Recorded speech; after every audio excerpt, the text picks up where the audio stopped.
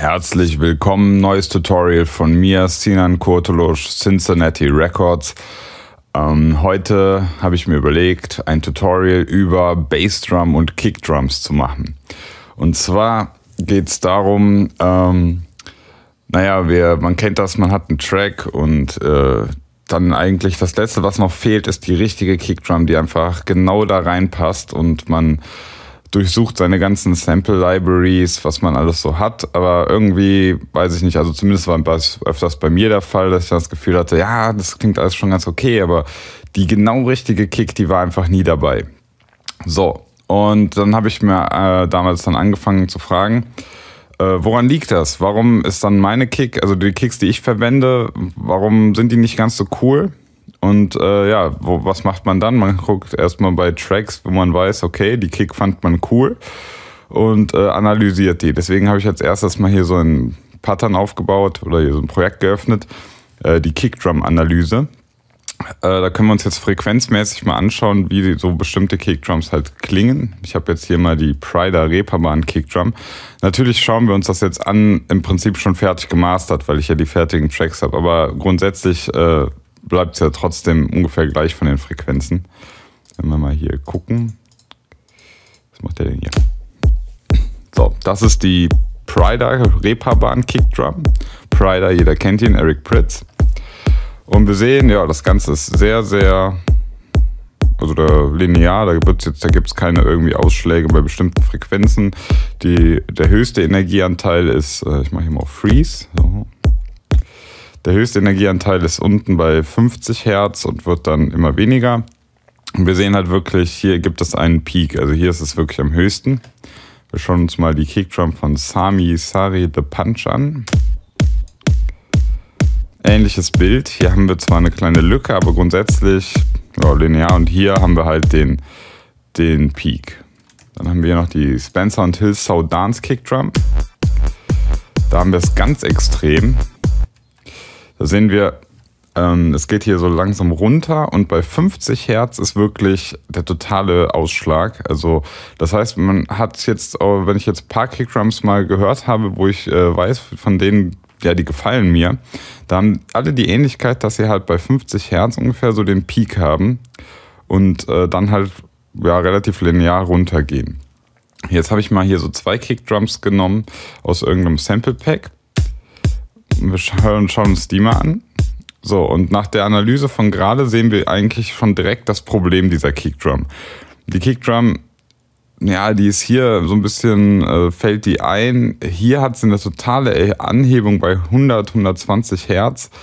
Äh, das sind genau die Frequenzen, die eigentlich sehr dröhnig und nicht äh, schön subkickig oder also kickig wäre ja, ist ja schon der Bereich, aber ähm, das Ganze gipfelt hier nicht wirklich in den 50 Hertz. Man könnte jetzt hingehen und versuchen, diese Kick mit Filtern hier runterzuziehen, hier raufzuziehen.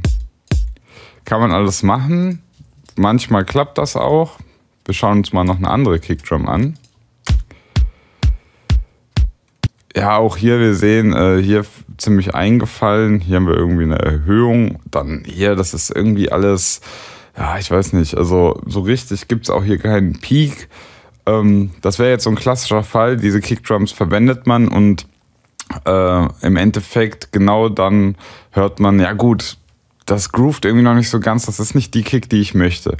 Und ähm, dann bin ich halt auf eine Idee gekommen. Und zwar, das sehen wir, schauen wir uns jetzt mal in einem anderen Projekt an. Und zwar hatte ich die Idee, ähm, dass wir die Kickdrum im Prinzip aufsplitten können, weil vielleicht vom tonalen Charakter, also alles so ab 100, 200 Hertz, da hat mir diese gesampelte Kickdrum, also dieses Kickdrum-Sample zwar schon ganz gut gefallen, aber wir haben ja in der Analyse gesehen, ähm, gerade im Bassbereich, da war das noch nicht so dieses, äh, wie ich es haben wollte. Und dafür habe ich dann mir so ein Plugin gesucht, und zwar das ist das ähm, Subatomic, Subatomic äh, Plugin, das ist Freeware. Das findet man auf dieser Seite von äh, De La Mancha. Also wie gesagt, ne, Freeware, kostenfrei runterladen, kann man direkt verwenden. Ähm, werde den Link auch hier in der Description posten. So, dieses Plugin ähm, soll jetzt für uns den Bassbereich erledigen. Das heißt, was habe ich gemacht? Ich habe als erstes mal einen Layer reingeladen bei Fruity. Und äh, der Layer soll jetzt immer äh, beide Sachen ja, anspielen, wenn er läuft. Also wir machen jetzt hier, soll jetzt der Layer jedes Mal schlagen. Und damit er das jetzt auch tut, also damit er die anderen quasi steuert, müssen wir den Layer erst anklicken, dann hier reindrücken und da nochmal mit Shift und dann Set Children. So, jetzt spielt der Layer, wenn er gespielt wird, diesen äh, Synthi und hier dieses Sample. So, das ist jetzt der ähm, das Plugin, was wir gerade hören. Das muss jetzt erstmal zwei Oktaven mindestens runtergepitcht werden. So. Ja, es kickt ja schon ganz gut. Da ziehen wir jetzt mein äh, dieses Sample halt von der Kickdrum rein. Wir hören, das klingt so wie eben. Das ziehe ich jetzt auf Kanal 2 und route das zurück auf Kanal 1. So, und bei 2 mache ich jetzt im Prinzip das, was wir eben äh, halt gesehen haben. Obenrum ist es im Prinzip ja okay, aber unten wollen wir jetzt das andere, den Bassbereich erledigen lassen. Das heißt, hier bügeln wir es noch ein bisschen aus. So. Und lassen den Bassbereich von diesem Plugin machen. Jetzt gucken wir uns das hier auch nochmal an. Und wir sehen, wir haben zwar hier noch irgendwie durch Interferenz ein äh, Einbruch, aber wir sehen schon mal, okay, das hier sieht schon eher so aus, wie wir es haben wollen. Abgesehen davon klingt es auch schon so. So.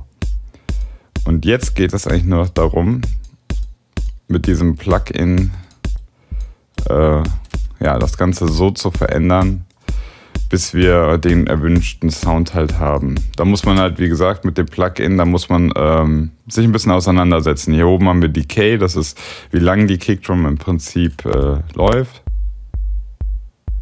Also wie lang die ausschwingt. Hier haben wir den Pitch Decay. Und hier unten sind so ein paar vorgegebene Shapes. Wie gesagt, äh, da bringt es jetzt auch nicht so viel wenn ich euch das jetzt genau äh, alles sage, dann das ist einfach, da müsst ihr, da müsst ihr rumprobieren. Das ging jetzt zum Beispiel nicht so gut.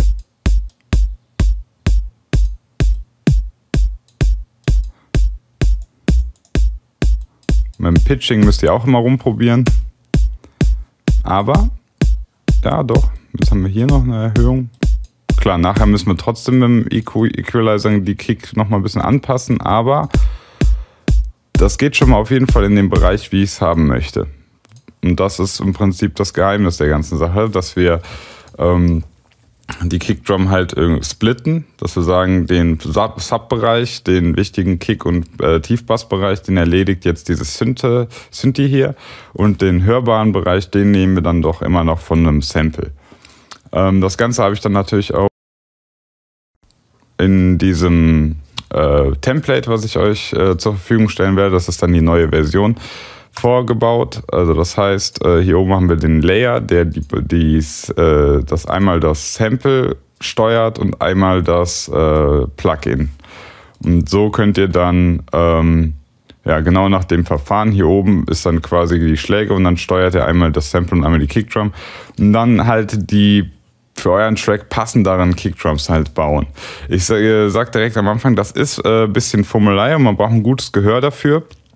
Ähm, weil man kann sehr schnell auch irgendwelche kaputten Bassdrums erzeugen, wie wir ja eben gesehen haben, wo die äh, Frequenzen irgendwie einbrechen und so weiter und so fort. Aber wenn man sich einmal damit auseinandergesetzt hat, bin ich der Meinung, kann man äh, bessere Bassdrums produzieren, die einfach auch noch besser in den Track reinpassen, weil wir können genau die Frequenz ähm, einstellen, auf wo das Ganze dann aufhören soll, ob das eine ja, 50 Hertz Kickdrum sein soll und so weiter.